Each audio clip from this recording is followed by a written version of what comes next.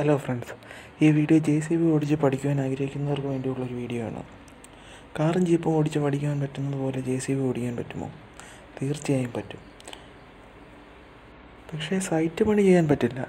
Site പണി പഠിക്കാൻ കുറച്ച് നാൾ ഇതിന്റെ കൂടെ നടന്നേ പറ്റൂ. കാറും ജീപ്പും ഓടിക്കുന്നത് പോലെ കുറച്ച് ദിവസങ്ങൾ കൊണ്ട് ജെ സി ബിയും ഓടിച്ച് പഠിക്കാൻ പറ്റും. അത് എങ്ങനെയാണെന്നുള്ള കാര്യമാണ് ഈ വീഡിയോയിൽ ഞാൻ പറയുന്നത്. അങ്ങനെ ഓടിക്കുന്നത് cat four two four B എന്ന വണ്ടിയാണ്. നമ്മുടെ നാട്ടിൽ ഈ മോഡലുകളെല്ലാം ജെ സി ബി എന്ന് തന്നെയാണ് അറിയപ്പെടുന്നത്. വണ്ടി ഓടിക്കുന്നതിനുള്ള ഡീറ്റെയിൽ ആയ കാര്യങ്ങൾ ഞാൻ പറഞ്ഞു തരാം ഇവിടെയാണ് വണ്ടിയുടെ മീറ്ററും സ്വിച്ചുകളും എല്ലാം വരുന്ന ഭാഗം. അതുകൊണ്ട് ആ സൈഡിലായിട്ടാണ് ചാവി ഓൺ ചെയ്യുന്നത്. ആദ്യം ചാവി ഒന്ന് തിരിക്കുമ്പോൾ വണ്ടിയുടെ ബാറ്ററി ഭാഗം എല്ലാം ഓണാകും രണ്ടാമത് ഒന്നും കൂടെ തിരിക്കുമ്പോൾ വണ്ടി സ്റ്റാർട്ടാകും അതിന് തൊട്ട് താഴെ സ്റ്റോപ്പറിന്റെ ഒരു ലിവറുണ്ട് അത് മുകളിലോട്ട് പിടിച്ച് വലിക്കുമ്പോൾ വണ്ടി സ്റ്റോപ്പ് ആകാനും പറ്റും.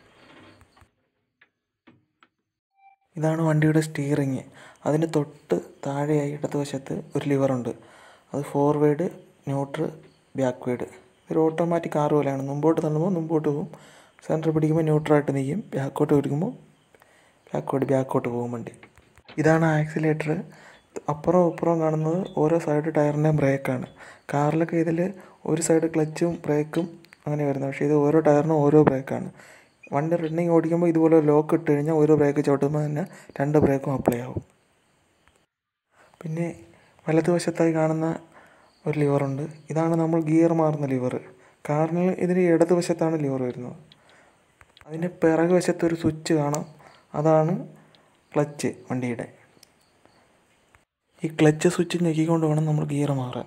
കാറ് പോലെ തന്നെ നാല് ഗിയറാണുള്ളത് നേരെ മുകളിലോട്ട് ഫസ്റ്റ് തൊട്ട് നേരെ താഴോട്ട് സെക്കൻഡ് സ്വിച്ച് പിടിച്ച് നേരെ വലത്തോട്ട് വെച്ച് തേർഡ് അതിന് നേരെ താഴോട്ട് ഫോർത്ത് ഗിയർ. അതിന്റെ ഇടയിലായിട്ട് വരുന്നതാണ് ന്യൂട്രൽ ഭാഗം. ഇത്രയും കാര്യങ്ങളേ ഉള്ളൂ. ഒരു കാറ് പോലെ തന്നെ. ഇനി ഞാൻ റോഡിൽ കൂടെ ഓടിക്കുമ്പോൾ എങ്ങനെയാണെന്ന് നോക്കാം.